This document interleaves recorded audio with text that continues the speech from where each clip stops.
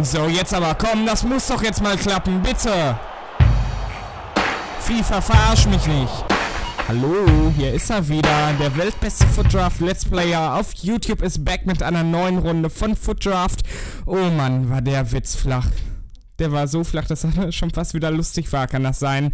Nee, heute zweite Folge. Ich habe in der letzten, oder unter dem letzten Video, also unter der ersten Folge, so, jetzt haben wir es aber ähm, direkt mal einen Kommentar bekommen, nach, ich glaube, nur 20 Minuten oder so, in dem stand, dass ich doch lieber, ich glaube, Ronaldo oder so hätte nehmen sollen. Äh, ja, hätte ich Ahnung gehabt, oder hätte ich Ahnung von diesem, von diesem Spiel, hätte ich das wahrscheinlich auch gemacht. Allerdings habe ich keine Ahnung und von daher, ja, werden mir wahrscheinlich noch weitere Fehler unterlaufen. Also bitte entschuldigt das. Äh, ja, ich glaube, heute wollten wir wieder so ein bisschen Footdraft spielen, habe ich gerade eben schon gesagt. Deswegen würde ich sagen, wählen wir das auch direkt mal aus. Äh, ja. In der letzten Folge haben wir uns ja unser Team mehr oder weniger gut zusammengestellt. Also wenn ich jetzt schon eine Beschwerde bekommen habe, dass ich lieber den und den hätte nehmen sollen, dann weiß ich, dass das schon nichts wird. Aber ich bin mal gespannt. Ähm, wir haben eine Teamchemie von 79. Ich weiß nicht, ob das gut ist oder schlecht. Also sagen wir mal so, 50 wäre ja die Hälfte. Das wäre ausreichend in der Schule. Und von wann ist das? Ich glaube von 100 bis 93 ist sehr gut, kann das sein? Also sind wir irgendwo so im Zweier, 2-Minus-Bereich, würde ich sagen, mit unserem Team. Wenn man jetzt nach Schulnotensystem gehen würde, ja, ich würde sagen, wir labern gar nicht mehr so viel, sondern fangen dann heute auch direkt mal an mit unserem ersten Spiel. Hier sehen wir nochmal unsere Aufstellung, die haben wir ja so besprochen. Ich glaube, mehr kann man da auch nicht rausholen. Von daher legen wir los, unser tolles, wie heißen wir nochmal, äh... Nazis FC oder so irgendwie. Ich habe den Namen nicht bearbeitet oder so. Wir spielen einfach mal drauf los. Äh, ja, Nantes FC Football Club aus England. Wahrscheinlich irgendwie so ein, Bill so ein Billig-Team. Und wir spielen heute gegen Galway United, wie es aussieht, die einen halben Stern haben. Also ich glaube, das könnte gut werden. So, hier sind unsere Trikots. Wir haben zwei Trikots zur Auswahl. Zweimal Liverpool-Trikots. Woran das wohl liegt? Welches wollen wir nehmen? Das oder das? Ich würde sagen, wir nehmen das einfarbige. einfarbige. Die spielen im Auswärtstrikot, im weißen Auswärtstrikot. Und ansonsten kann es losgehen. Mein erstes Footdraft-Spiel. Oh, irgendwie bin ich doch schon so ein bisschen aufgeregt. Das kriegen wir nicht hin. Das kann ich mir nicht vorstellen. Ich sag mal so, entweder wir kriegen es hin, weil die KI einfach so schlecht ist und wir erstmal auf Halbprofi spielen, oder wir kriegen gleich sowas eins von der Mütze, einen auf der Mütze, was ich nicht erwartet hätte. So, hier haben wir Slatan Ibrahimovic, unseren Kapitän. Egal, fangen wir mal lieber an zu spielen. Es ist ja fast schon so schlecht wie, mal, wie bei meiner Liverpool-Karriere. Da kriege ich die Übung auch nicht so gut hin. Egal. Nuts FC spielt gegen Galway United. Zwei luschen Teams. Ja, ich bin ja mal gespannt. So, die Spieler klatschen sich ab, wünschen sich ein ja, erfolgreiches Spiel. Ich bin heute euer Kommentator, wie auch schon beim im Karrieremodus. Frank Buschmann und Manny Brockmann äh, kommentieren schon längst wieder in der Bundesliga. So, hier sehen wir unsere Aufstellung mit Manuel Neuer im Tor, Slatan Ibrahimovic im Sturm, Graham Starling äh, eigentlich ein linker Flügelspieler, spielt er beim linken Mittelfeld. Das sagt schon ziemlich viel über meine Mannschaft aus. Äh, ja, gut, die andere Aufstellung ist re relativ irrelevant. Hier sehen wir, ah, das Torwarttrikot mit Neuer, aber diesmal im Tor. Sonst Mignolet, das ist so gewohnt. Halt dieses Liverpool hier, das gefällt mir irgendwie. Aber ich glaube, wenn das so ist, dass wir hier wirklich jetzt Nans FC heißen, würde ich sagen, kümmere ich mich doch mal ein bisschen mehr so um mein eigenes wir haben ein richtiges Ultimate-Team. Und ja, im Moment ist das, glaube ich, relativ easy, kann das sein. Okay, hier gibt es keinen Elfmeter, egal. Also der erste Eindruck ist relativ positiv. Zu, äh, gut, wir haben noch keinmal aufs Tor geschossen, aber immerhin äh, scheint der Gegner auch nicht allzu viel auf die Kette zu kriegen. Ja gut, das war schon mal wieder sehr gut von mir, dieser Einwurf gerade. Aber egal.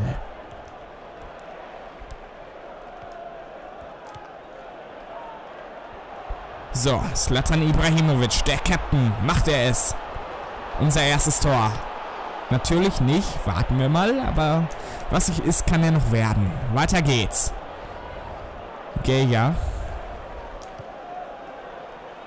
Oh, kriegt Sterling den noch? Der ist ja schnell, den kriegt er noch. Perfekt. So, Henderson, das passt. Warum geht Dings nicht zum Ball, Luis Gustavo? War das Gustavo? Ich weiß nicht. Egal, weiter geht's. So, unser Ball wieder. Ich bin ja mal gespannt, wie das heute wird. So, jetzt geh in die Mitte. Ich hoffe, das verstehst du. Auch wenn die Chemie nicht so gut passt. Okay, das lag aber jetzt, glaube ich, eher an diesem komischen Pass. Als an einem Verständigungsproblem. So, Spiel zurück. Ganz ruhig, wir haben Zeit. Wir führen zwar noch nicht, aber vielleicht gleich. Wer weiß. Vielleicht liegen wir auch gleich zurück. Warten wir es mal ab. Das sieht gut aus. Ah, Mann, warum ist der denn noch dazwischen? Das kann doch nicht sein. Nicht nur der Karrieremodus verarscht mich auch. Ultimate Team verarscht mich. Kann das sein? Irgendwie kriege ich im Moment nichts auf die Kette. Was natürlich daran liegen kann, dass ich A. zu schlecht bin. Oder B. die Chemie einfach zu schlecht ist.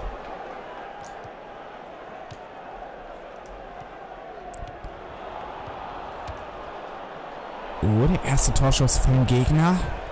Von Dingster Bumster United. Mit wie viel Sterne, Sterne hatten die? Anderthalb oder so? Ich weiß es schon gar nicht mehr. Auf jeden Fall waren die nicht allzu gut. So, jetzt komm, schick den Sterling mal. Oh Mann, das gibt's doch nicht. Lag das an der schlechten Teamchemie oder war das jetzt wirklich eine schlechte Flanke von Sterling? Ich weiß es nicht. Es geht weiter. Bellarabi ist das. Oh nee, da sollte der doch auch nicht hin. Was soll das denn? Okay, mir ist bekannt, dass in FIFA die Pässe nicht ankommen. Aus dem Karrieremodus, aber... Das kann doch nicht sein, dass wirklich jeder Pass vorne im Sturm nicht ankommt. So, jetzt gibt's Freischuss für Galloway United oder wie die hießen, keine Ahnung. So langsam sollten wir mal zu ersten Torchancen kommen. Okay, Neuer ihn, ganz ruhig, alles gut.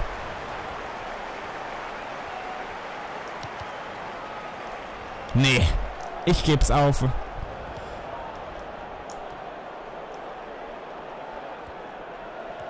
So, jetzt aber, komm, das muss doch jetzt mal klappen, bitte. FIFA, verarsch mich nicht. 1-0, sauber. Geht doch! Sauber! Wir führen tatsächlich. Ich weiß nicht, woran es liegt. Na gut, unser Spiel ist grottenschlecht, sagen wir mal so. Aber ich hätte nicht gedacht, dass wir jetzt in Führung gehen. Heute. Es liegt bestimmt daran, dass wir auf Halbprofi spielen. Und für Halbprofi-Niveau spiele ich gerade sowas von Scheiße. Achso, in der Karriere spiele ich irgendwie besser. Was vielleicht auch in der besseren Teamchemie von Liverpool in der Realität zusammenhängen kann. Oder zu tun haben kann. Ich weiß jetzt gar nicht mehr, wie mein Satz Anfang war. So, weiter geht's. Ja, okay.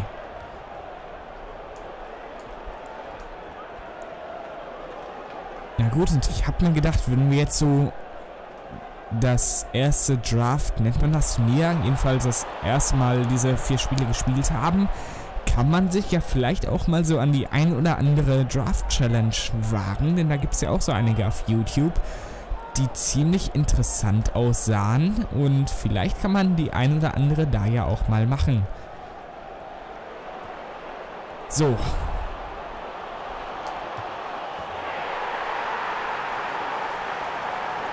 Geht doch. Oh mein Gott. 2-0 hätte ich ja nicht gedacht. Aber warum nicht? Nehme ich gerne mit. So kann es weitergehen. Joseph Sosa.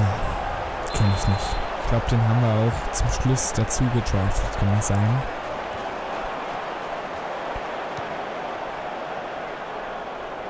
So, Karim Bellarabi kriegt den Ball nicht. Warum auch immer. Weiter geht's.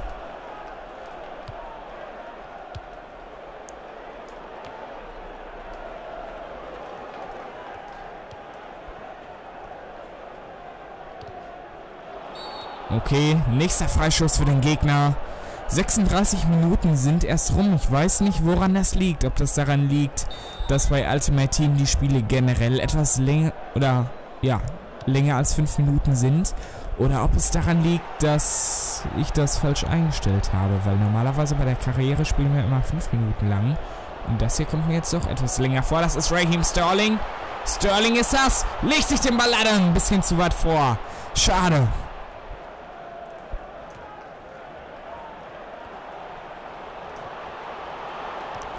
Der kam leider nicht an Ibrahimovic. Hast du heute überhaupt schon ein Tor geschossen?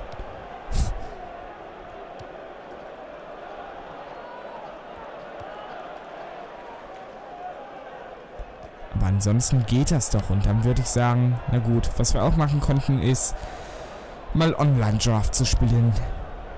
Denn irgendwie ist das langweilig, gegen die KI zu spielen. Und Ultimate Team ist ja eigentlich doch online.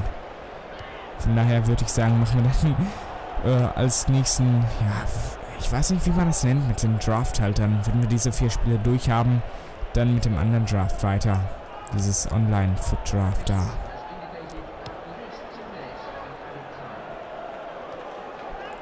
Falls ihr übrigens sonst noch irgendwelche Tipps für mich habt, wie ich was machen kann oder worauf ich bei diesem Spielmodus achten muss, dann schreibt mir doch gerne einen Kommentar in die Kommentare, ist ja logisch. Und dann erklärt ihr mir mal so ein bisschen, wie dieses Spiel hier eigentlich so funktioniert. So, und jetzt habe ich gerade nicht aufgepasst, weil ich mich auf die äh, kann man Moderation sagen, weil die Kamera an ist? Ich weiß nicht. konzentriert habe. So, erste Halbzeit ist rum. Zur Halbzeit führen wir tatsächlich mit 2 zu 0, was ich ja nicht gedacht hätte. Und das sieht, ja, sieht ja dann doch nach einem Sieg aus. Machen wir lieber weiter. Dann ist, dann ist es schneller rum. So, unser Ball oder auch nicht. Mann. Äh, wo ist der Ball? Da ist er. So, jetzt aber. Sterling. Jetzt vielleicht mal eine vernünftige Flanke. Wurde aufgehalten, okay. Was ist das bitte schön für ein Pass? Sollte hier vielleicht auch nicht so verrückt rumrennen.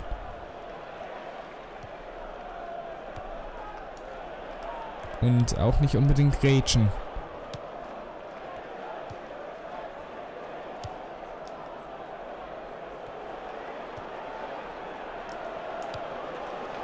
So, ganz ruhig. Neuer hatte noch heute noch nicht allzu viel zu tun. Jetzt auch mal wieder am Ball.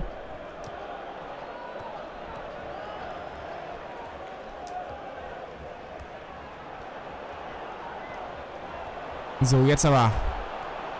Da, ihr müsst euch auch anbieten, Jungs. Nicht nur da hinter den Gegenspielern verstecken. Denn so können wir keine Tore schießen. Und was war das jetzt bitte schön? Warum schießt er da auf einmal? Ich stelle mal lieber nicht so viele Fragen. Ja eh keiner beantworten wird von EA.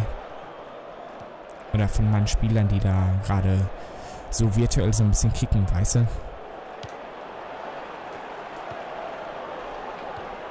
Oh Mann, Sterling, warum kannst du den Ball nicht richtig zurechtlegen?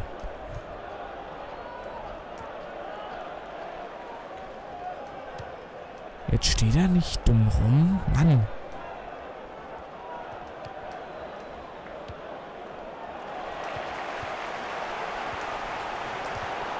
Oh Mann, nee. Das gibt's nicht. Das kann nicht sein. Anschlusstreffer für Galloway äh, United oder sowas irgendwie. Mann, Mann, Mann, das ist jetzt echt überflüssig. Wir kommen einfach wieder nicht an den Ball und dann passiert halt sowas.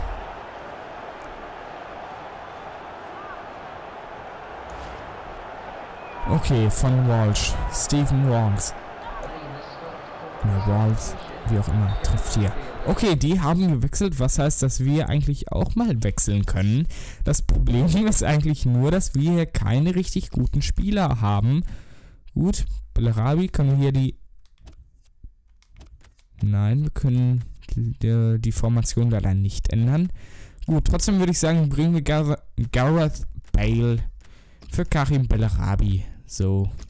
Auch wenn das nicht so viel bringt, einen rechten Flügel für einen rechten Mittelfeldspieler zu bringen, aber komm. Ich muss ja noch dazu lernen. Ist jetzt immer meine tolle Ausrede. So, hier haben wir ihn. Gareth Bale. Linker Flügel, Raheem Starling, der schnell. Rechter Flügel, Gareth Bale, der jetzt einfach hier mal durchlatschen kann. Und den Ball zum 3 zu 1 reinhaut. Ich hätte natürlich auch flanken können, aber wozu sollte ich? Der hat so viel Pace, dieser junge Mann. Dann soll er es auch selber machen. Sauber. Geht doch.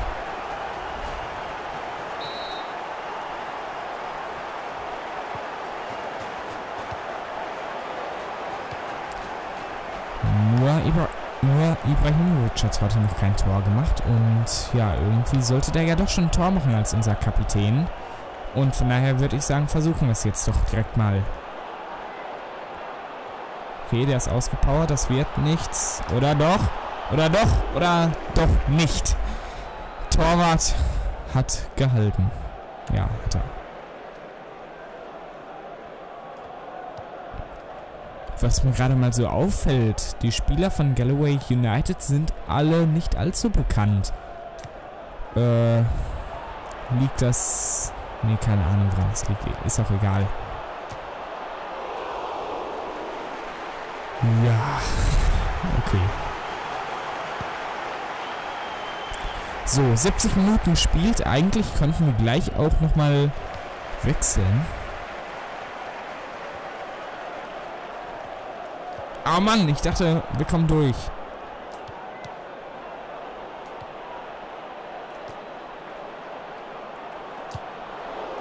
Oh Mann, dieser Torwart, ey.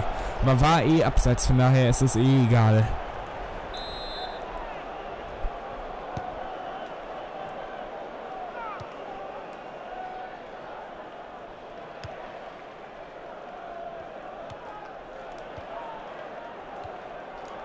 Mann, jetzt geh doch mal richtig dran. Oder voll auch einfach mal. Okay, Ball ist im Aus. Gibt Abstoß für den FC. Ach nee, ist ja nicht Liverpool, ist ja für, äh, wie auch immer FC. Also unser Footdraft-Team, sagen wir so. So, nächster Versuch. Okay, das war wirklich nur Ball gespielt, vielleicht ein bisschen zu weit vorgelegt. Wobei Bale den Ball fast noch gehabt hätte. Passt irgendwie. Bale und Ball.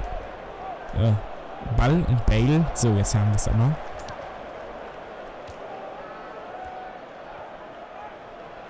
Sterling ist das. Jetzt vielleicht nochmal der Kapitän, der heute irgendwie total unauffällig ist.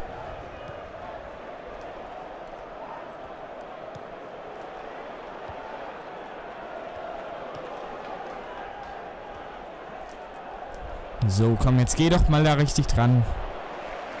Okay, Neuer hat ihn ganz ruhig und ich weiß, dass er ziemlich weit werfen kann. Oh ja, das kann er. Von daher hätte man das ja nutzen können, wenn der Ball angekommen wäre. Aber der Ball ist ja leider nicht angekommen.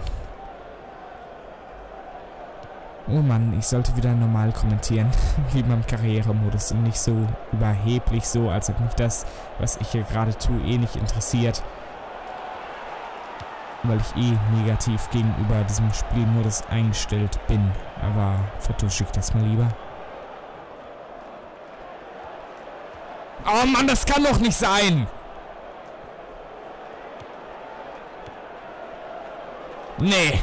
Nee, nee, nee, das geht nicht. Wie kann der den Ball denn so billig verlieren? Äh, ja, jetzt kommen wir gar nicht mal an den Ball. Auch gut. So, Manu, den hast du. Ganz ruhig. Zwei Minuten gibt es übrigens Nachspielzeit, also nicht allzu dramatisch. Aber das Spiel ist ja eh entschieden. Wir führen 3 zu 1. Da sollte jetzt nicht mehr allzu viel passieren, bis auf vielleicht noch ein oder zwei Fehlpässe. Das war's dann aber auch. Wir gewinnen tatsächlich unser erstes Footdraft-Match. Unglaublich, da sollte man ja eigentlich jubeln, aber warum sollte ich jubeln? Denn wir haben ja noch lange nichts gewonnen. Und gut bin ich in diesem Spiel auch nicht. Von daher lasse ich das lieber. Oh ja, hier sehen wir nochmal Gareth Bale. Ein Schuss, ein Tor. Besser kann man es halt nicht machen. So. Äh, sonst noch irgendwas hier? Nein. Gut, jetzt sehen wir hier die Spielerbewertung. Äh, Gustavo war anscheinend der Beste. Für mich eigentlich relativ unauffällig. Äh, mit einer Bewertung von 8,5. Lahm war ganz schlecht mit 5,5. Äh, Sterling 6,8. Neuer 6,8. Ich weiß nicht, was das zu bedeuten hat. Ich weiß, das war früher immer bei FIFA 12 und 13. Da war die Bewertung beim Karrieremodus auch so. Oh, oh, wir haben unsere ersten Münzen verdient. 412 äh, wie nennt man das? Äh, FIFA Coins. Ich glaube, das sind Coins. FIFA Points sind die Dings da, diese anderen halt. äh, ach so, hier kriegen wir Punkte. Äh, haben einmal gefault, ja, wegen Fault minus 10. Äh, ja gut. Ballbesitz 45, ja, Gegentore minus 20. Okay, Karten 0, Schüsse aufs Tor 5. Oder wie ist das? Na gut, ist auch egal. 412 Punkt, äh, ja, Coins, immerhin. Ich weiß nicht, ob das gut ist, was so am besten ist. Jedenfalls haben wir unseren ersten Sieg eingefahren. Drei weitere fehlen noch, um irgendwie irgendwas, ja, Großes zu gewinnen oder zu bekommen. Und ja, den widmen wir uns dann in den nächsten, ja, drei Folgen von Footdraft. Ich hoffe, dir hat die heutige Folge gefallen. Wenn du noch irgendwelche Tipps für mich haben solltest, schreib die doch gerne in die Kommentare. Ich lese sie auf jeden Fall und versuche die dann auch einigermaßen umzusetzen. Ansonsten danke fürs Zuschauen bei der heutigen Folge und ich denke mal, dass wir uns dann wieder übermorgen oder so um den Dreh rum wiedersehen. Danke fürs Zuschauen bei der heutigen Folge und bis ja, äh, wahrscheinlich übermorgen dann. Tschüss.